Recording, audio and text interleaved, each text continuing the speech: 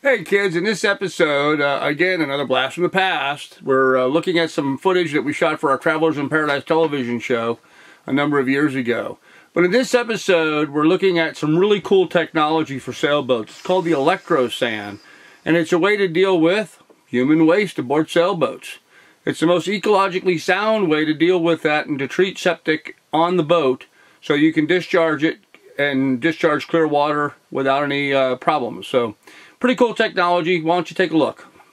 In the BVIs, there are mooring balls everywhere for you to tie up to, and there are certain rules when you tie up to a mooring ball. For instance, there's different colors on the mooring balls that indicate what use they're supposed to be for. Also, there's marine sanctuaries down here, and you cannot stay overnight on the mooring balls in marine sanctuaries. We decided to grab a mooring ball one night, and we decided to stay over at Sandy Ledges. This is a interesting little convenience site. It's right next to the caves outside on the south shore of Norman Island but it's really convenient to the Indians, which is a dive site we were going to dive the next day. And we were really shocked and disappointed with what we found in the water.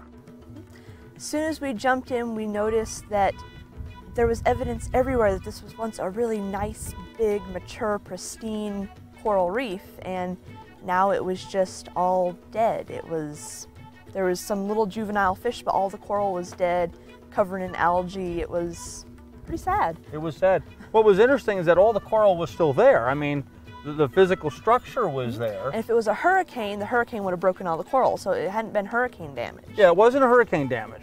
It, it, was it was just the coral was there. It was just dead. It had no life on it. Now we've actually seen this before. Mm -hmm.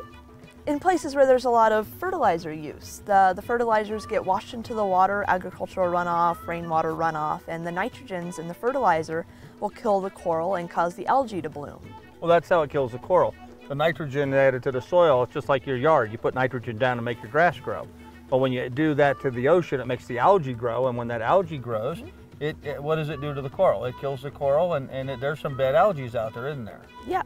Some algae can actually release uh, neurotoxins into the water, which will kill fish and birds. And um, all algae will actually take down the oxygen levels in the water, and fish need the oxygen to be able to breathe. Well, that's right. And, and that's what we decided had happened here. There wasn't any evidence of any kind of agricultural activity there on the island. There's no, certainly no golf courses. There's no houses on there. There's, there's no farming going on. So the only way nitrogen could have been introduced was actually from the yachts, from the, from the charter boats that came there and, and grabbed the mooring balls. And of course, you know, you have boats every night grabbing the same mooring ball night after night after night, and they're all there flushing their toilets. So you're kind of concentrating a, a large amount of nitrogen in that one area. Well, this is brought on by the fact that they don't use, a lot of people don't use their holding tanks. And how, and how simple it would be to fix that. Yep, it's usually just a little switch you have to flip and suddenly you'll be pumping into your holding tank instead and then you just pump your holding tank out when you get back to the dock, but a lot of people don't do that and so every time they wash dishes, take a shower, flush a toilet, all that water gets flushed directly from their boat into the water.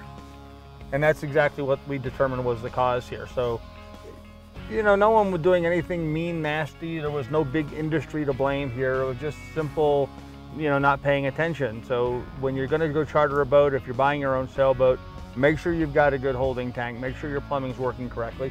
And actually, if you can, they have these new systems, these new waste management systems, uh, like the Electrosan, mm -hmm. that actually breaks down the effluent. It uses uh, an electrical charge, so it takes salt water in from the ocean, clean salt water, it electronically breaks down the molecules. Now, you're the chemist, Lacey. What's the breakdown?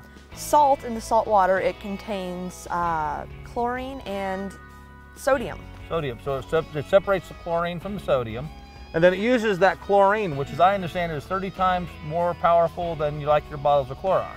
Uh -huh. It separates that chlorine, it uses that to then clean all the effluent that goes through the electrosan unit and, and then it bonds that chlorine back to the sodium. Then when it pumps it all out, you're, you're just returning the salt water and now your, your waste is completely sterilized so it's not going to be damaging the reef. And these are a great little system you can add on your boat. They can be powered by a solar panel. So not only are you not polluting the water, but you're not burning any fossil fuels. They're just a really cool yeah, system. and they don't add any chemicals, so you don't have to worry about chemical runoff from your boat. And they're pretty affordable. What'd you say they are? Uh, about $2,000 to buy one and have it installed in your boat. So it's a really nice system. So if you're gonna go out and charter a sailboat, think about this coral reef that we're looking at here at Sandy Ledges. Look how much different this coral reef is than say over at the Indians, which is not that far away, but yet it's a place where it's a national park sanctuary.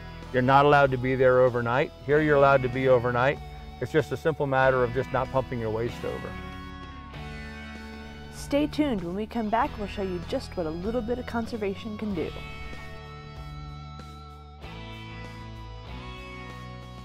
Well, I hope you found that as interesting as I did. I know it's not the most thrilling thing to be talking about, but the fact is, it's a reality that we all have to deal with. You know, the solution by dilution just doesn't work anymore. We're reaching toxic levels in all the waterways in the world. So maybe the electrosan might be a way for people to look at disposing of their waste so we quit polluting as much as we do into the water.